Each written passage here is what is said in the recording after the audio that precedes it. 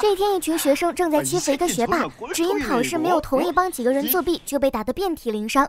这时，路过一个女同学实在看不下去了，上前用视频威胁他们赶紧停手。眼瞅着还有个不怕死的弱女子，虽然变得更加嚣张了，打女人当然不用男生出手，长发妹率先发起攻击。只见她一顿操作猛如虎，差点被打成了二百五。短发妹见状不妙，冲了上去，一个排山倒海，直接把阿推到了二爸怀里。眼瞅着四人要被一个女生打得颜面扫地，校霸上去就是一套空踢，但下一秒就踢得稀碎，真是中看不中用。但是班霸不会就此罢休，因为他的老大校霸可是认识混社会的人，但女生也丝毫不怕，他可是空手道的搏击冠军。解决完战斗，女同学就被老师带到了教室。原来她是今天刚来的转学生，女孩名叫允恩，不是冤家不聚头。刚才被她教训的那两个小混混，瞬间就成了她同班同学。两个男生看了允恩一眼，心想好日子到头了。不过这一次，学霸阿强开心了，这回终于不用担心再有人欺负他了。下课后，阿强赶紧找到允恩，本想跟允恩说声谢谢，允恩却希望他能离自己远点。因为他实在太讨厌软弱无能的废柴。回到家，阿强母亲店里来了几个吃霸王餐的顾客，眼瞅着自己的母亲被推倒，他愤怒的上前，本以为他就要就此觉醒，却只能继续扛揍。最后还是母亲求饶，不要钱了，混混才放过了他们。第二天上学，云恩又被一群人喊住，正是昨天被揍的那两个女班霸。这回身边多了一个校花学姐，这一次有人撑腰，两人就打了几回嘴炮，谁都不服谁。不讲武德的学姐就扇出了一记如来神掌，却被允恩一套龙抓手化解了。气急败坏的学姐刚要使出另一只如来神掌，允恩一个勾腿，学姐就当众摔了个狗吃屎。这下允恩算是跟学校里的恶势力彻底结下了梁子了。放学后，阿强再次找到了允恩，他早已受够了被别人欺负，想要变得和允恩一样强。看着一直被欺负的阿强，允恩心软了，带着阿强来到了自己父亲的拳馆，希望可以通过学习空手道让他变得更强。但是当众出丑的学姐生气的找到了学生会的两位校霸大哥，知道他的遭遇后，会长阿彪怒了，说无论如何都要帮他找回场子。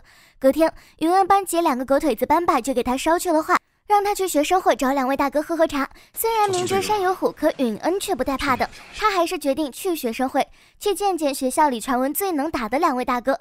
由于这是一所基本自治的高中，老师只是摆设，校长像是傀儡，校方的无能导致了校园霸凌、考试作弊、收取学生保护费等乱象层出不穷。其中恶势力为首的当属学生会，由于受到校长的庇护，他们更加嚣张至极。除了打架斗殴、收取学生的保护费外，还要威胁阿强为自己考试作弊。一见面，老大阿彪直接用他那杀人的眼睛直勾勾地看向允恩。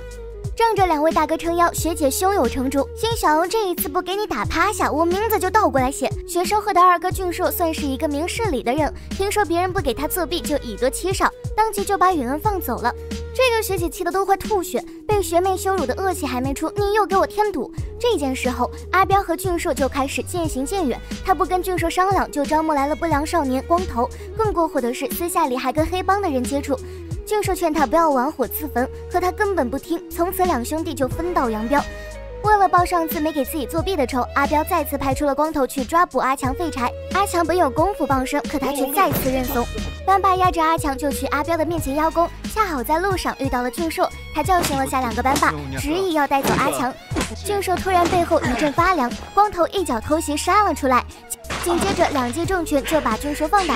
当光头他们再次带走阿强时，一个熟悉的声音喊住了他们：“阿强，你今天是打算旷课的吗？那我跟你一起呀。”没错，护霸使者允恩再次出现。嚣张的光头以为打倒了俊硕，自己就是无敌了。他奋力往前一个踢腿，被允恩大长腿轻松化解。紧接着一脚、两脚、三脚、四脚，结束战斗。这一套动作把躺在地上的俊硕都惊呆了，他赶紧起身喊住阿强，问他为什么允恩会如此厉害。得知他有个叫空手道的老爸，转头俊硕就顺利的成为了允恩老爸道馆里的第二名学员。而另一边的阿彪也正在忙着收取保护费和加入黑帮，此刻他正在密谋一场更大的计划。班霸在班级里面已经不敢再欺负阿强，但他们转头就把目标盯上了另外一位同学。阿强鼓足勇气站了出来，因为允恩帮自己，自己也不能看着其他同学像自己一样被欺负。班霸劝他不要多管闲事，否则躺下的就是你。想着总被班霸欺负，这一次他决定不再认怂。阿强瞅准了时机，上去一下就撞倒二霸，趁机让那一名同学赶紧去喊老师。不幸的是，大霸眼疾手快，一把就把他薅了回来。被一顿毒打后，阿强垂头丧气地来到了武馆。他问老师是否有速成的功夫。师傅看他老是被揍，心里又爱又恨，于是教了他一招必杀技——手刀，并且让他每天练习一千下。另一边，俊硕主动找到了阿彪，劝他以后不要再找允恩他们麻烦。他不仅不听，还说要把事情搞大。俊硕怒了一下，把棒棒糖摔得稀碎。看来文的不行，那就来硬的。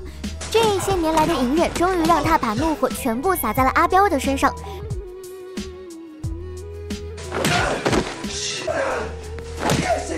事后，他赶紧找了允恩，告诉他要小心提防阿彪。阿彪知道自己硬刚不过允恩，就找到了学姐帮忙。第二天，允恩就收到了学姐的短信，说要跟他道歉，请他喝好喝到爆的妹妹奶茶。难道是鸿门宴？虽然知道学姐肯定不安好心，但他还是去找了学姐。就当允恩想要喝的时候，学姐突然良心发现，打翻了允恩的杯子。原来她的杯子里面早已被下了东西。阿彪眼看计划失败，就生气的走进来，打了学姐一巴掌。趁机正好分散允恩的注意，这下阿彪和光头终于抓住了允恩。哦吼，苦肉计！阿强听到允恩被抓，心急如焚的跑到了道场，找到了俊硕，两人赤手空拳的就赶来了学校。光头正好拦住了他们，带着他们来到了球场。没有想到这是事先设计好的圈套，一场大战一触即发。阿强扔下了背包，双方就开始激烈的混战。俊硕能打，阿强能扛，没一会儿的功夫，差不多就解决掉了一大半的小混混。光头眼瞅自己再不上场，所有小弟就全趴下了。他率先给俊硕一个重击，这段时间的锻炼让俊硕功力大增，一下就把光头击倒了。紧接着，俊硕如泰森附体一般一拳一个，而阿强只能继续被按在地上扛揍。眼瞅着一个人打不过俊硕。几个人就开始群殴，阿强见势不妙，使出了自己的终极绝招手刀，只剩下俊硕和光头没有倒下。俊硕使出了一记旋风腿，彻底将他送上了西天。就在阿彪想要对允恩做出不可描述的事情时，俊硕他们正好赶到。阿彪砸碎玻璃，威胁俊硕让他跪下，他只好照做了。阿彪一拳就干了上去，然后对着他一顿踢。阿彪认为一个能打的都没有了，可他忽略了旁边的阿强，他再也不是从前的那个软蛋。一个手刀成功让阿彪放弃了对俊硕的伤害，阿彪杀红了眼，转头对着阿强就是一顿输出，一拳、两拳、三拳，直到把阿强打成猪头才肯停止。他转头望向了允恩，可人却没了。突然他脑袋一懵，正是允恩一记漂亮的飞腿。一对一，阿彪显然不会是允恩的对手，他愤怒地对着阿彪的啤酒肚就是一顿输出。